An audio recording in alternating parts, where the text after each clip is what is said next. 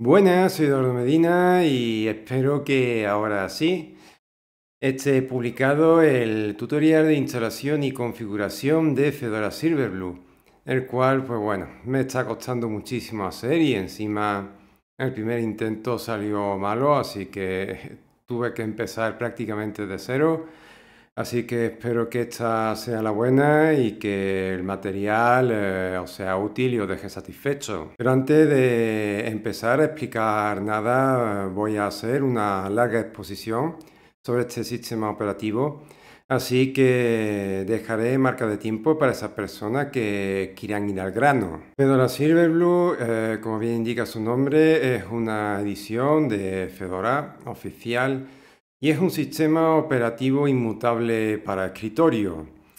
Esto quiere decir que su sistema de ficheros es en un porcentaje importante de solo lectura y no puede ser modificado ni siquiera con permiso de root. Esto, eh, digamos que le da un mayor dominio a los desarrolladores a la hora de perimetrar, eh, controlar y también solucionar los errores. De cara a los usuarios finales, eh, esto se transforma en menor probabilidad de romper el sistema operativo. Algo que también contribuye Ostri, que, bueno, para definirlo de forma llana, mm, muy, muy, muy llana y muy, muy, muy heterodoxa, porque, bueno, mi intención es que una persona sin profundos conocimientos eh, pueda instalar y usar este sistema, al menos a nivel de escritorio, pues un sistema de actualizaciones atómicas para sistema operativo Linux y lo que hace es, mm, digamos, ir generando imágenes conforme el usuario eh, lo vaya modificando. O sea, si el usuario instala K3B en formato RPM en Fedora Silverblue, eh, RPM OS3, que es el gestor de paquete que está montado sobre OS3, se encarga de ir construyendo una nueva versión de la imagen del sistema con K3B y su dependencia instalada, ¿no? Y esto eh, permite mm, retroceder fácilmente al estado anterior del sistema cuando dicha aplicación K3B no estaba instalada. Dentro de la imagen del sistema hay una especie de núcleo duro con componentes que no pueden ser eliminados por la vía estándar. O sea, si el usuario eh, introduce rpm ostri remove, por ejemplo, Firefox, que es un miembro de ese núcleo duro, pues se encontrará con que rpm ostri le dirá que tururú y, claro, no puede proceder a la desinstalación. Se pueden eliminar esos componentes, digamos, del núcleo duro, ¿no? Que no se pueden quitar por la vía estándar. Pues sí, si estoy hablando de una vía estándar, hay una forma de poderlo eliminar y es algo que veremos en este vídeo. Además de lo relacionado con la inmutabilidad y OSTRI y el gestor de paquete que tiene encima, RPM OSTRI. Eh, la segunda gran pata conceptual de Fedora Silverblue es que es un sistema que intenta alejar al usuario del propio sistema operativo. Otras personas lo definen eh, como separar las aplicaciones del sistema operativo. Yo digo separar al usuario porque además de las aplicaciones eh, hay un par de tecnologías de contenedores de por medio. La primera, Podman, que es un motor de contenedores compatible con Docker, que funciona, que funciona sin daemon y además en el espacio del usuario. Esto mm, por diseño eh, hace que aporte bastante a nivel de seguridad frente a la implementación estándar de Docker que se apoya en un daemon. La segunda tecnología de contenedores presente en Fedora Silverblue, también en Kinoite, pero claro, este vídeo lo voy a centrar totalmente en Silverblue e Toolbox, que frente a Podman eh, destaca por ser capaz de soportar aplicaciones gráficas. Y de hecho, eh, si somos ortodoxos con, con, el concepto de Fedora Silverblue, las aplicaciones gráficas en formato RPM tienen que ser instaladas a través de Toolbox. Pero, ¿qué pasa? Que actualmente mm, la gestión de Toolbox ni está automatizada ni se puede hacer de forma gráfica, por lo cual al final mm, no resulta muy práctico si se instalan algunas aplicaciones sueltas, como por ejemplo el mencionado K3B. Y menciono K3B debido a que eh, no conozco ningún quemador de disco en formato Flatpak que sea software libre. En FlatHub está PowerISO, pero lleva dos años sin actualizarse y además es privativo. Así que en algunas ocasiones, si el usuario eh, no encuentra la aplicación que quiere instalar ni en formato Flatpak ni en formato AppImage, es preferible recurrir a AppImage eh, antes que a RPM en Silverblue Kinoite, pues yo veo que es más práctico instalar directamente la aplicación con RPM Ostri. Yo la verdad es que mm, Toolbox eh, lo veo más que nada, al menos en su estado actual, eh, para montar, por ejemplo, un entorno específico. O sea, si yo, eh, si yo me decido por configurar el entorno, un entorno de Ruby on Rails siguiendo el tutorial que publiqué en Muy Linux hace un tiempo, es muy probable que yo me apoye en un, en una, en un contenedor de Toolbox y, y cree, ¿eh? yo cree pues un, un contenedor de Toolbox eh, dedicado a temas de programación y para algunas cosas obviamente no me va a quedar otra que emplear Podman. Pero volviendo al tema que nos ocupa, que estoy empezando a descarrilar, la otra gran tecnología que está orientada a separar al usuario del sistema Fedora Silverblue es Flatpak, que a estas alturas no hace falta que explique qué, ¿no? El conocido formato de paquetes universales. Y bueno, tanto Fedora Silverblue como Kinoite son actualmente, y a la espera de ver si Micros se engancha a nivel de escritorio, pues bueno, son actualmente los dos grandes referentes de, de Flatpak. Y os voy a decir de que si tenéis la intención de utilizar RPM como principal formato de paquete, os voy a decir que estáis perdiendo el tiempo. O sea, si vais a utilizar RPM como principal formato de paquete en Fedora Silverblue o Kinoite, yo recomiendo eh, tirar de Fedora Workstation o del Spin con, con KDE, porque, como he dicho, eh, Fedora Silverblue y Kinoite están orientados al uso de, de Flatpak. La combinación de estos dos conceptos puede ser visualizada mm, a través de Nome Software, muy, muy superficialmente, obviamente.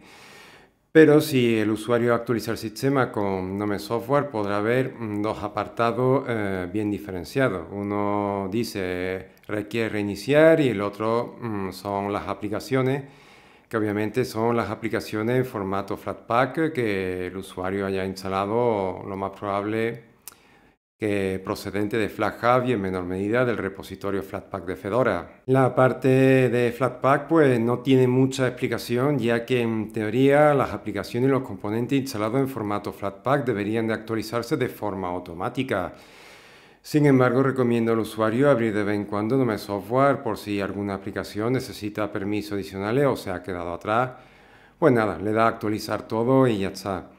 La parte de requiere reiniciar eh, la imagen base del sistema, está compuesta eh, por paquete RPM. Al contrario de lo que dicen algunos por ahí, mm, Fedora Cerebro no es un sistema operativo construido totalmente en Flatpak. De hecho, en mi máquina principal, eh, la parte Flatpak, a nivel de cantidad de paquete, pues Flatpak solo representa aproximadamente el 10%. El resto eh, es todo paquete RPM que están en la imagen del sistema. Bien, eh, la parte RPM mm, obviamente está gestionada eh, a través de Ostri, RPM Ostri, ¿no? Y cada vez que el usuario lleva a cabo un proceso de actualización se va generando una nueva imagen del sistema la cual eh, se inicia después de llevar a cabo un proceso de reinicio o de apagado y vuelta a encender de la máquina.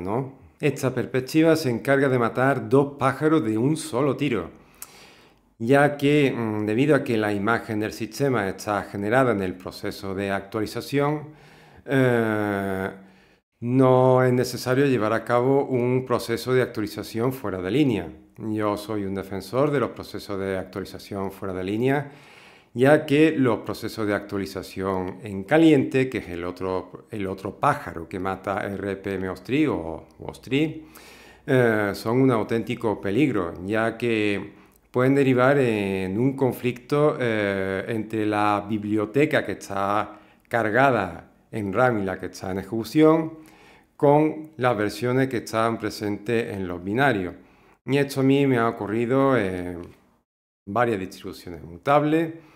Al actualizar sobre todo Mesa, o sea, al actualizar Mesa y no reiniciar el sistema, me he encontrado eh, con que iniciaba Steam y la aplicación no funcionaba, o sí funcionaba la aplicación, pero no era capaz de arrancar los juegos. Y yo pensaba, ya se ha roto Steam, ya se ha roto Steam, y ya me empezaba a caer los sudores como ahora, porque hace un calorazo que no vea. Y claro, después me retrotraía, rebobinaba un poco mi memoria y me decía, ostras, que acabo de actualizar Mesa, o lo actualicé hace un rato y no he reiniciado, ¿no? Reiniciar y ya está pues ese peligro queda también eliminado con, este sistema de actualización que emplea tanto Fedora Silverblue como Kinoite y también otras ediciones inmutables de, Fedora que usan Ostri y también Endless que también emplea Ostri. Los blindajes que incorpora Fedora Silverblue, o sea el establecimiento de un porcentaje del sistema de ficheros en solo lectura, el núcleo duro dentro de la imagen base del sistema. Y el hecho de que el usuario esté separado del propio sistema deberían de impedir eh, cosas como por ejemplo la que le ocurrió a Linus Sebastian cuando intentó instalar el cliente de Steam en Pop! OS.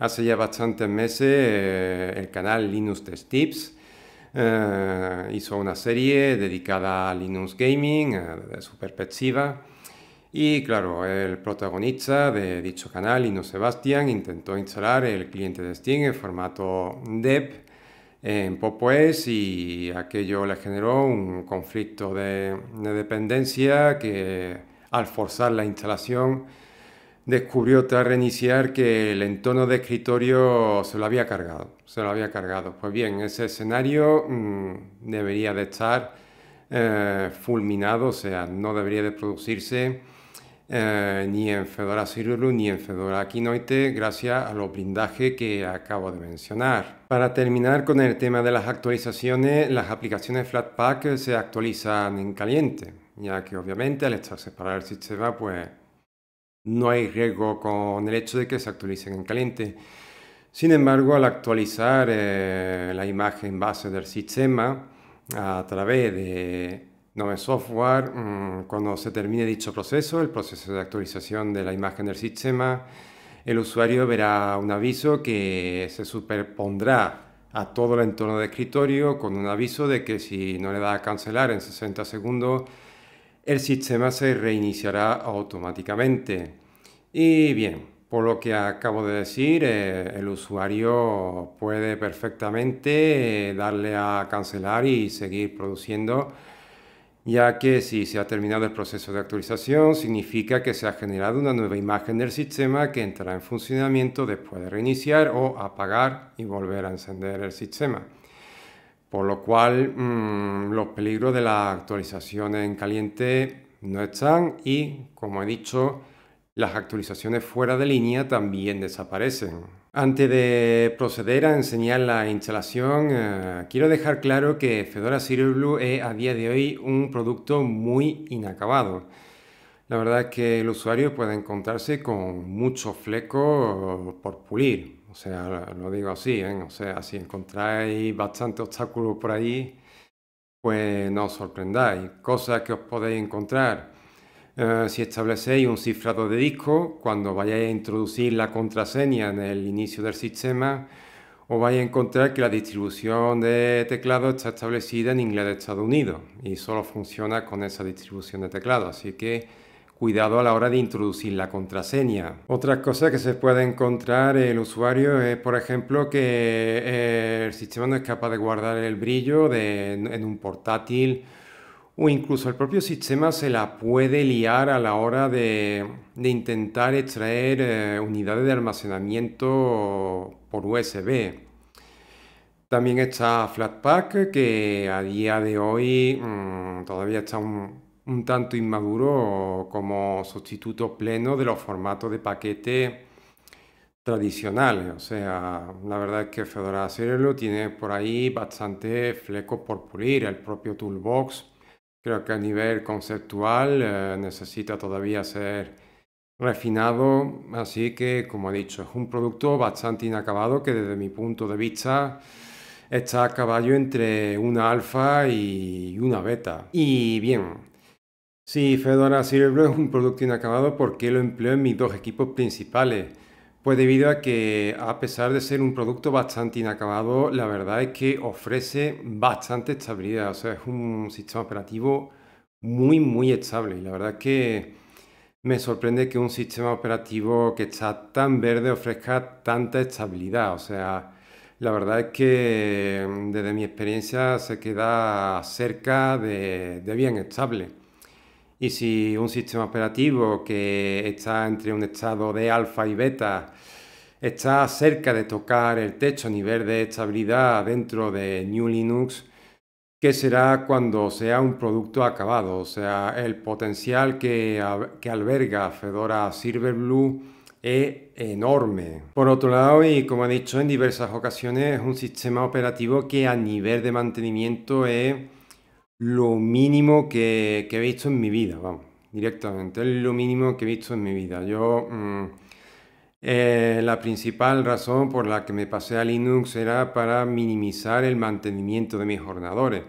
Y sobre todo a partir del año 2016 fui buscando el sistema operativo Linux que, que menos esfuerzo me exigiera. Y actualmente el techo en ese sentido lo representa Fedora Silverblue y la verdad es que eso, o sea, es instalar el sistema operativo y después de configurarlo, es cierto que la configuración es un poco aparatosa, pues la verdad es que su mantenimiento es muy simple, puedo estar semanas sin abrir una consola de línea de comando, o sea, la verdad es que estoy muy, muy, muy tranquilo y muy satisfecho con Fedora Silverblue porque enciendo el ordenador y lo uso y, y me olvido de todo, vamos, o sea, es una auténtica maravilla.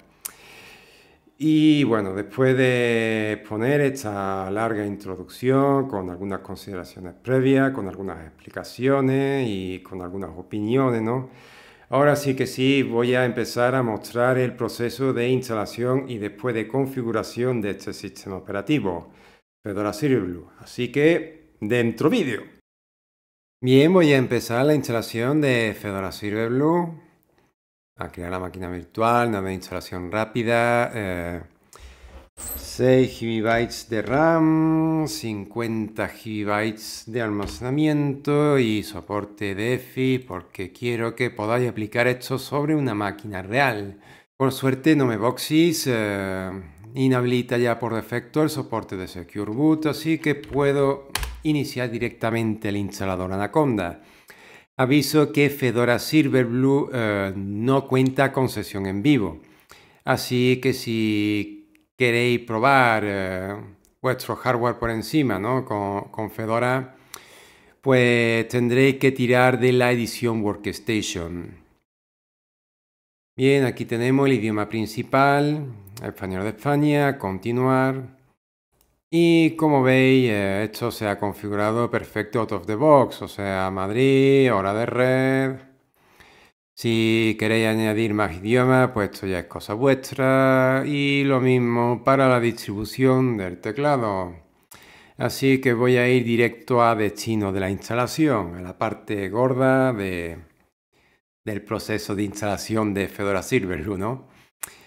Bien, hago clic y bueno, la verdad es que Fedora Silverblue es un sistema que invita bastante a tirar del particionado automático. O sea, tal y como estáis viendo esto, pues darle directamente a hecho y Santa Pascua. Pero tengo que avisaros que Fedora Silverblue mm, no convive bien en un arranque múltiple con otro sistema operativo o, como mínimo, no convive muy bien en un arranque dual con Windows. Si tenéis problemas con un arranque con otro sistema operativo a nivel de máquina física, mm, a mí no me preguntéis porque no os puedo ayudar. O sea, no os puedo ayudar. Yo llevo desde 2017 sin hacer eh, un arranque múltiple sobre máquina física y nunca he hecho una instalación de Windows Linux eh, sobre Wi-Fi. Así que yo ahí no os puedo ayudar. Y bueno, en la descripción os dejaré eh, material adicional eh, de instalaciones de Fedora Workstation desde otras perspectivas para, para que podáis ampliar el abanico, pero claro, mm, la lógica que expongo en esos vídeos eh, la tenéis que adaptar a la de Silverblue, ¿vale? O sea, por ejemplo, la ubicación de, de los directorios home tenéis que ponerla correcta, ¿vale? Si estáis instalando Silverblue. Pero aún así, bueno, esos vídeos puede servir para tener algunas ideas adicionales. Yo voy a recurrir a o voy a realizar un particionado manual, así que hago clic sobre personalizado y pulso sobre hecho.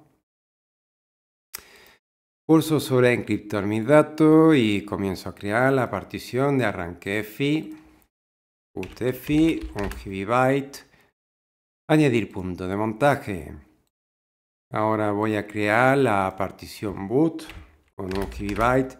Esta partición es muy importante crearla en Fedora Silverblue, ¿vale? Porque si no la creáis, hay muchas probabilidades de que el sistema luego os dé fallo al arrancar. ¿eh? Es probable que el sistema os falle al arrancar después de instalarlo, si no creáis esta partición. Así que avisados quedáis, creo la partición de arranque boot de un GB. Y ahora procedo a crear la raíz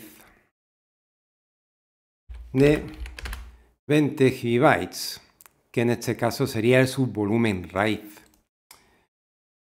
Y por último crearé el subvolumen de la home. Pero esto está mal. Si ponéis el barra home nada más, va a funcionar, pero ¿qué pasa? Que barra home en Fedora Silverblue es un enlace simbólico que apunta aquí, ya que en Fedora Silverblue y también Fedora Kinoite, todo lo que podría definirse como el entorno de ejecución del sistema ha sido movido a barra bar, incluido los directorios de usuario. Así que le pongo añadir punto de montaje.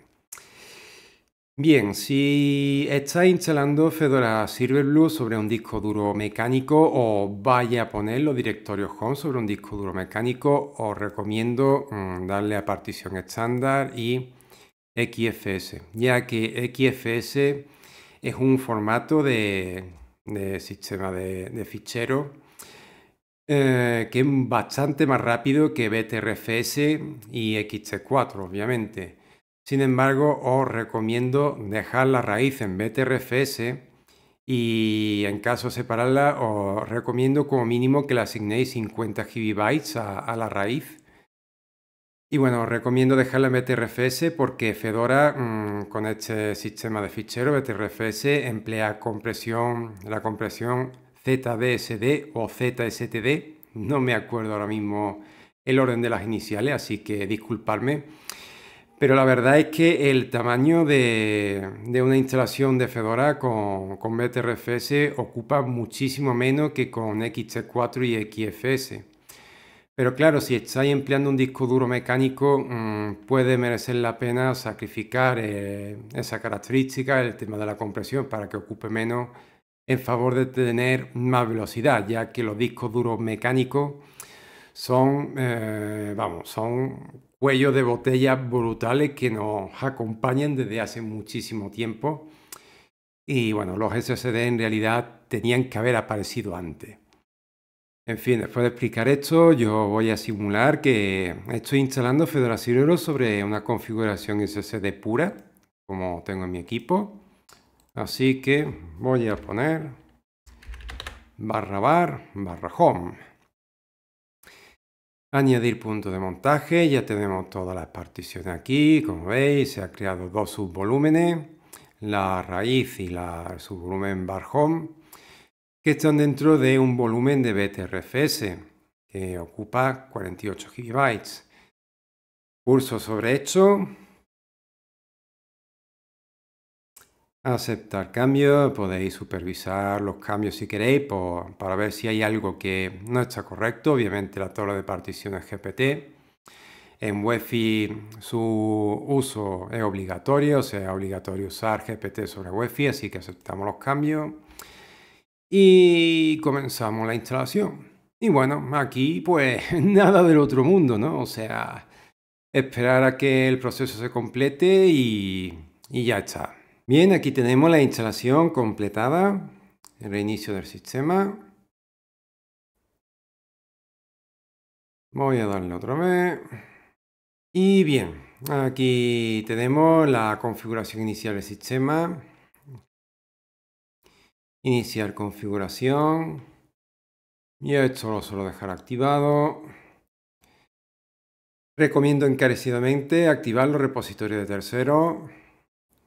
Así matamos más moscas cañonazo porque bueno, este es mi segundo intento y la verdad es que, como dije por redes sociales, más bazooka y menos explicación. Siguiente. Esto de las cuentas en línea ya depende de la necesidad de cada uno. En este caso lo voy a meter y creamos el primer usuario.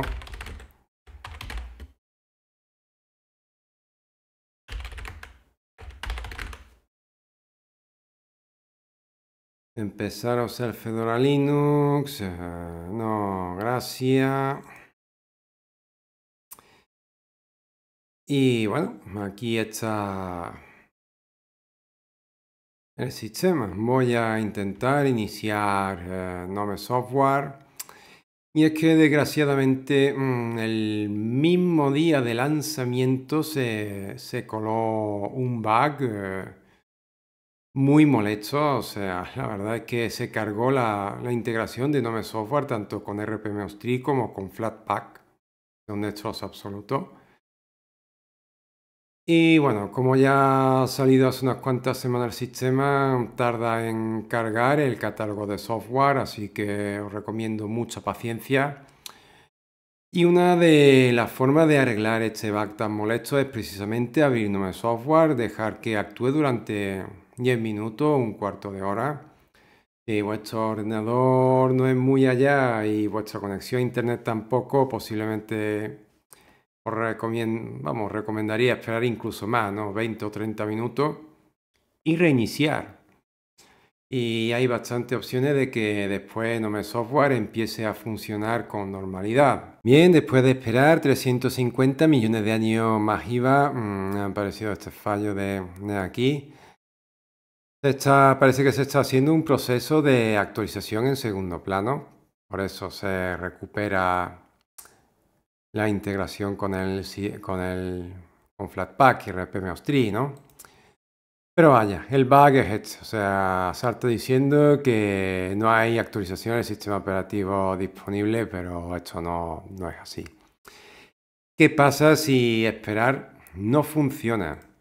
Pues de manera alternativa se puede forzar la actualización manual del sistema. De la siguiente manera.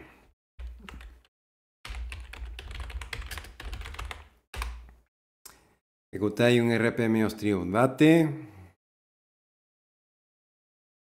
Si me salta que tengo que cancelar, pues bueno, llevo un proceso de cancelación y esto ha tardado muy poco para todo lo que había pendiente, así que está claro que ha llevado en segundo plano un proceso de actualización.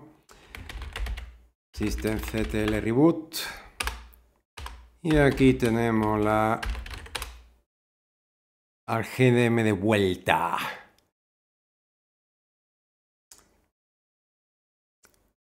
Pues ya el bug no tendría que aparecer más. Se vuelve a descargar el catálogo de software porque desgraciadamente el pobre se hizo pupa el día de su lanzamiento.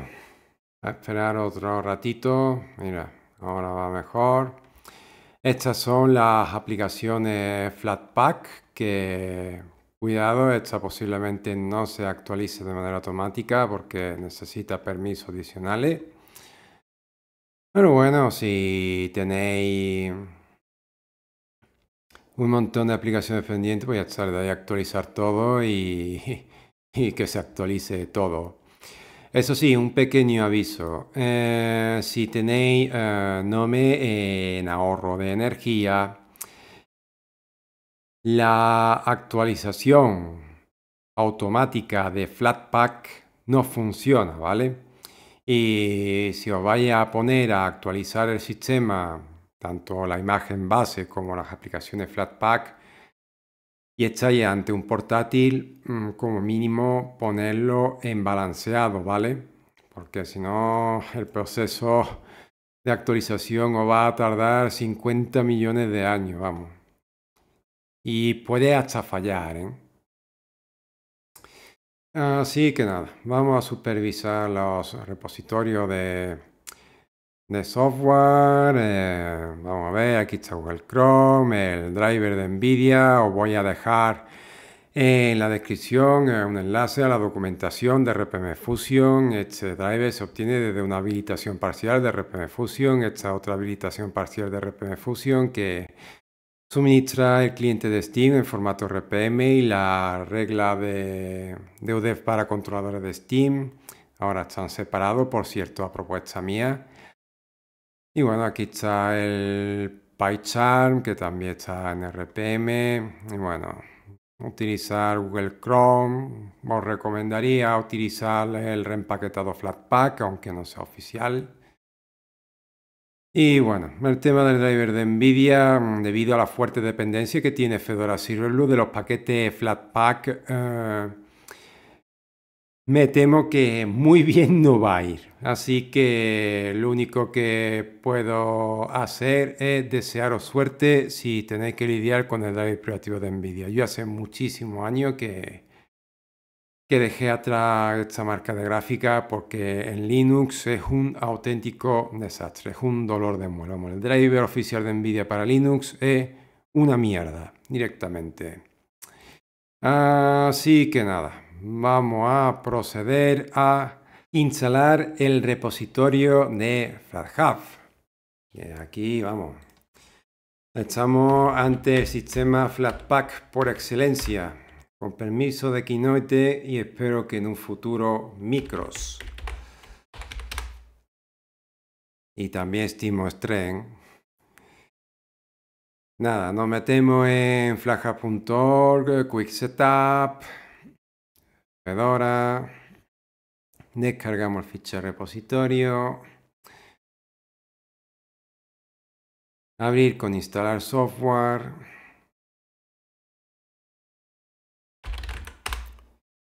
contraseña, cerrar, cerrar, cerrar y cerramos sesión para que el repositorio de FlatHub se configure correctamente.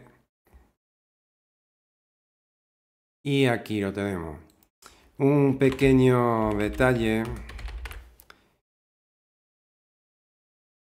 es que antes de instalar aplicaciones, eh, fijaros de dónde procede. Por defecto, eh, se suministra desde el repositorio Flatpak de Fedora. Así que mm, si veis Fedora Linux, os recomiendo encarecidamente cambiarlo a FlatHub que las compilaciones de las aplicaciones de Nome mm, proporcionadas a través de FlashHub, mm, la aplastante mayoría son oficiales. Y sobre las compilaciones suministradas eh, por el repositorio de Fedora tienen la ventaja, por lo general, de contar con un mejor soporte de idioma. La verdad es que hay muchas aplicaciones suministradas por, el repositorio Flatpak de Fedora que todavía no están traducidas, están traducidas a media o está traducida la interfaz, pero luego no, no ofrece soporte a través del corrector ortográfico. El soporte de idioma a través de las compilaciones publicadas en FlatHub va de lujo. Así que vamos a empezar a proceder a sustituir el Firefox RPM por la versión Flatpak suministrada por FlatHub. Bien, hay que ir aquí Como veis, aseguraros de que procede o que es suministrada la aplicación por FlashHub y se pulsa sobre instalar. Y bueno, por suerte Flatpak ahora es mucho más rápido en este sentido realizando este proceso porque antes esto tardaba una eternidad. Vamos, la verdad es que Flatpak va mejorando, aunque todavía tiene flecos por pulir. Pero vamos, va avanzando y va madurando. Bien, la aplicación se ha instalado, vamos a abrirla, se abre, ayuda acerca de Firefox y como veis la aplicación Flatpak, pero aquí sigue la versión RPM que me voy a cargar con el fin de ser mm, más ortodoxo y más respetuoso con el propio concepto de Silverblue, que es la de separar las aplicaciones del sistema o el usuario del sistema. Para eliminar eh, la versión RPM de Firefox lo que hay que hacer es abrir una terminal. Vamos a darle zoom a esto y vamos a darle a pegar. Tenéis que poner este comando de aquí, rpm override remove Firefox. Bien, eh, Firefox es una aplicación que pertenece, digamos, a, la parte, al núcleo duro ¿no? de la imagen del sistema. Esto quiere decir que no puede ser eliminado eh, a través de la vía estándar. O sea, si ponéis simplemente rpm-ostree remove Firefox, el gestor de paquete os va a decir que tururú. Tenéis que ponerle este argumento adicional, override, que es anular en inglés y lo que hace eh, mm, no es tanto desinstalar Firefox como digamos ocultarlo. ¿Qué quiere decir esto? Pues que si veis en Nome Software que la versión RPM de Firefox se sigue actualizando, no os preocupéis, ¿vale? Si veis que Firefox RPM se actualiza, se sigue actualizando, aunque le hayáis aplicado esto, no os preocupéis, ¿vale? Todo está ok. Por lo que acabo de decir, porque este proceso, digamos que lleva mm, algo que se parece más a una ocultación que una desinstalación real.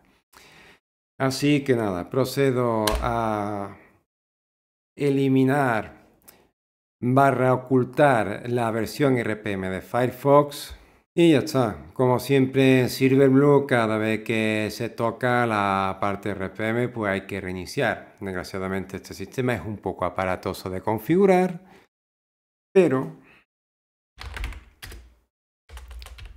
A ver... Una vez configurado, la verdad es que su mantenimiento es muy, pero que muy escaso. Bien, iniciamos sesión y como veis, Firefox ha desaparecido de aquí abajo. Ya tenemos, entre comillas, eliminado Firefox RPM, así que la única versión que ha quedado aquí es la versión Flatpak, que la versión Flatpak suministrada a través de FlatHub está mantenida por la propia Mozilla y además cuenta con un soporte multimedia mm, bastante decente Así que, vamos, podéis usarla sin, sin, vamos, podéis usarla con total confianza, vamos. Eso sí, os tengo que avisar que este Firefox de aquí, la compilación Flatpak, arrastra el problema de que no se integra con las extensiones de Nome. Dicho con otras palabras, no se puede instalar extensiones de Nome a través de una compilación Flatpak de Firefox, ni la de Fedora ni la de FlashHub. Así que como alternativa os recomiendo esta aplicación de aquí. Gestor de extensiones. Esta es una aplicación en formato Flatpak que se nutre de la lista de extensiones publicada en la web de extensiones para Nome. Y bueno, coge la lista de extensiones de, ahí, permite instalarla, permite configurarla, pero a mí no me preguntéis. A mí no me preguntéis porque yo no, no instalo extensiones. O sea, como veis, mi, mi nombre está muy limpio. O sea, yo no instalo eh, extensiones adicionales y me limito a emplear las que Fedora mm, tiene preinstalada y dichas extensiones son puramente cosméticas. Por ejemplo, este logo que veis aquí abajo con el wallpaper oficial, pues este logo aparece gracias a una extensión de Nome. Pero yo después mm, mantengo la experiencia como viene por defecto, mm, quitando eso, unas pocas extensiones cosméticas, la experiencia de Nome ofrecida por Fedora es bastante vanilla y yo lo prefiero así. Me he acostumbrado a usar Nome así y estoy encantado. Así que si queréis instalar extensiones de, de Nome os recomiendo encarecidamente esta aplicación, pero si tenéis problemas a mí no me preguntéis porque ahí no os puedo ayudar. Tras finiquitar Firefox definitivamente procedo a instalar y configurar Steam. Eso sí, recuerdo que este video tutorial es una implementación de o una reimplementación de mi propia receta personal y no una adaptación del tutorial que he publicado en Muy Linux. Como podéis ver por aquí, no utilizo los repositorios completos de RPM Fusion. Así que este es un detalle que yo no voy a enseñar, ¿vale? Si queréis instalar los repositorios completos de RPM Fusion, tenéis que recurrir al tutorial de Muy Linux. Bien. Voy a empezar instalando la regla de UDEF para controladores.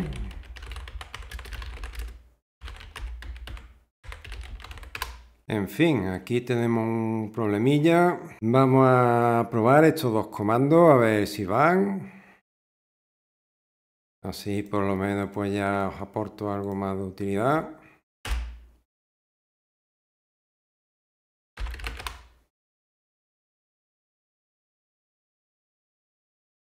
En teoría el sudo no debería de ser necesario, pero...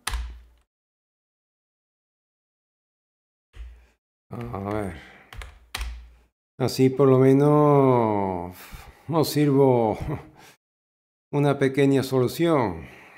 Y es que funciona. Así si os pasa a vosotros, pues ya podéis solventarlo. La verdad es que es la primera vez que me encuentro esto.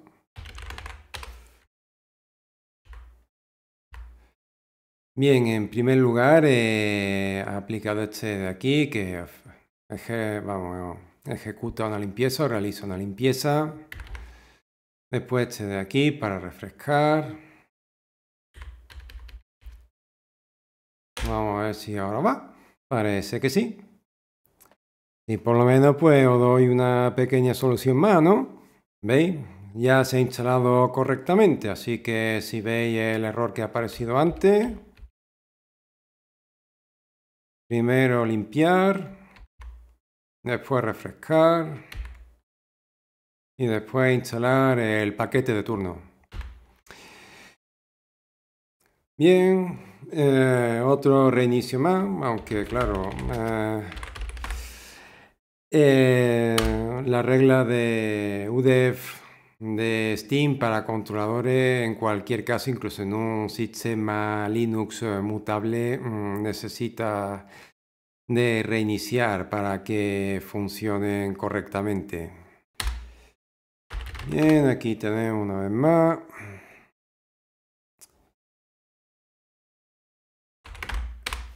Y vamos a instalar, como no, Steam en formato Flatpak, que como corresponde. Lo que pasa es que la regla de UDEF eh, para controladores, pues bueno, todavía no han hallado ninguna forma para implementarla a través de Flatpak. Así que no queda otra que instalarla a través de RPM. Por eso he utilizado RPM Austri para instalar la regla de UDEF para controladores. Bien.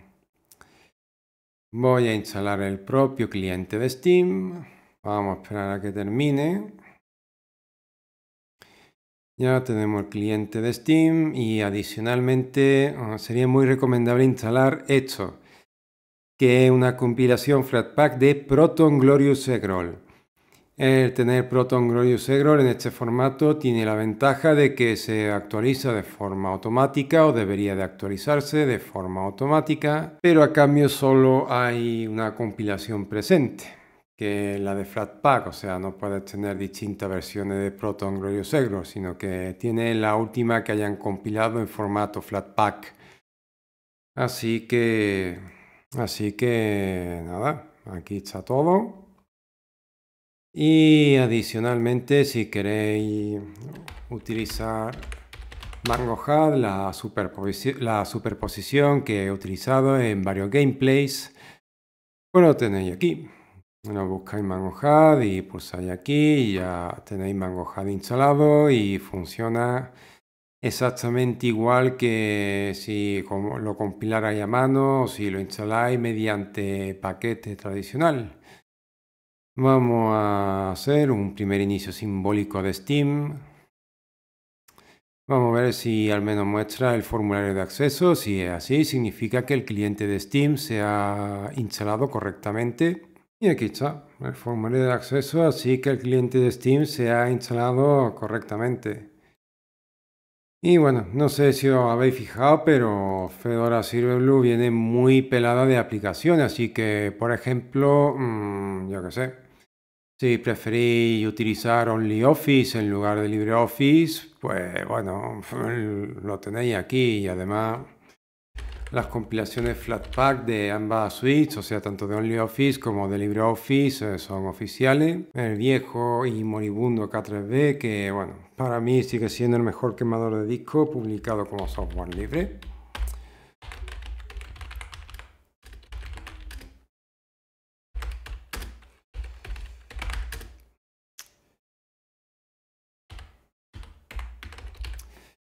Y bueno, aquí lo tenéis, eh, la instalación de K3B, RPM-OS3, K3B, Libar, CDR Skin. Eh, recomiendo instalarlo con su dependencia.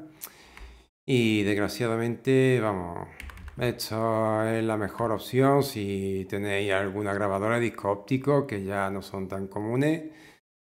Pero bueno, podéis recurrir a, a instalar esto y y ya tenéis un quemador de disco. Hay una. Hay una. Hay un argumento. Lo voy a mostrar ahora cuando se termine de instalar K3B con su dependencia para tener soporte de Blu-ray y otras cosas. Podéis, en lugar de reiniciar con la línea de comando, podéis reiniciar desde aquí, vamos, sin problema. Bien, el argumento es este. Apply Live que permite parchear eh, la imagen del sistema que está en ejecución. Eso sí, os recomiendo no utilizar este Apply Live, al menos de manera compulsiva, ya que perdéis oportunidades para poder hacer el rollback, o sea, para volver hacia atrás una imagen anterior, tanto de manera temporal, o dificultáis el regreso de manera permanente.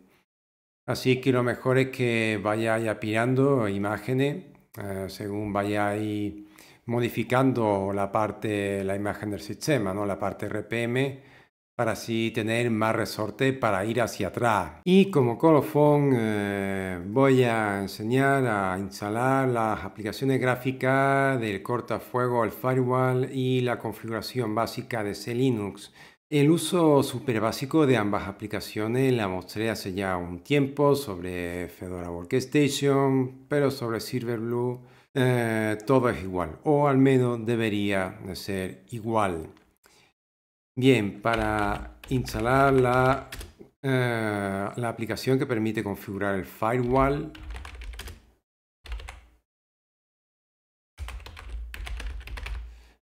El comando introducir este. Desgraciadamente, como Fedora Silverblue no cuenta con gestor de paquete a nivel de RP así que no queda otra que emplear la línea de comando.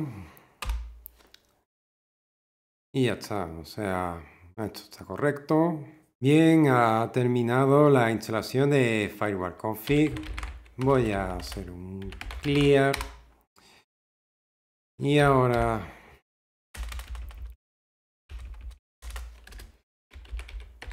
Policy core utils GUI. Bien, esta debería de ser la aplicación gráfica eh, que permite configurar básicamente ese Linux.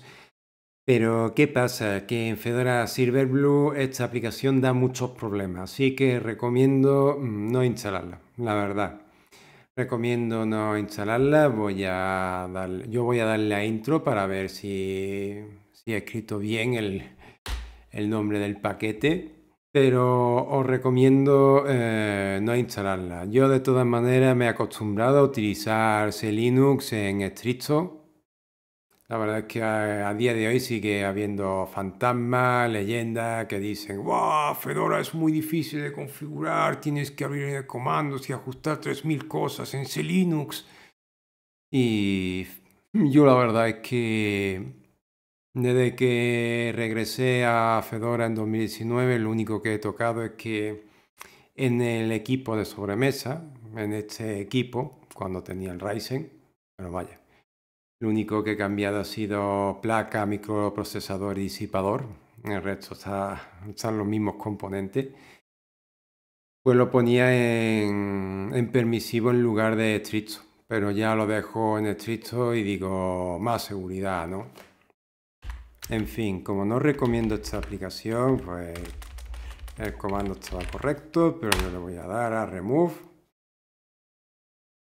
Lo dejamos en estricto el Linux y, y más seguridad.